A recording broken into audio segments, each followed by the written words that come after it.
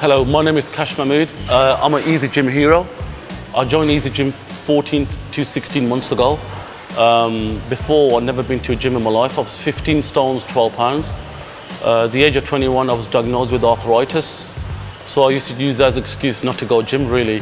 Um, apart from that, I used to eat junk food, eat, drink Coke, fizzy pop, everything chocolate. But one day I looked in the mirror and I just seen what I've become.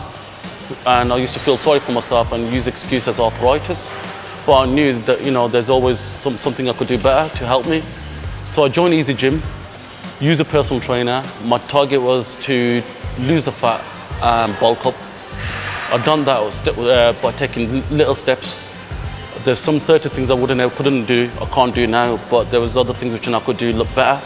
So that's what it was, but that's what inspired me, to be honest with you. Um, every day it's inspiration to come here and knowing what I can do. Before I couldn't even lift a pen. Uh, so being here every day is a blessing and it's an inspiration trying to work, work with my personal trainer and getting what I want to do. So don't lose hope.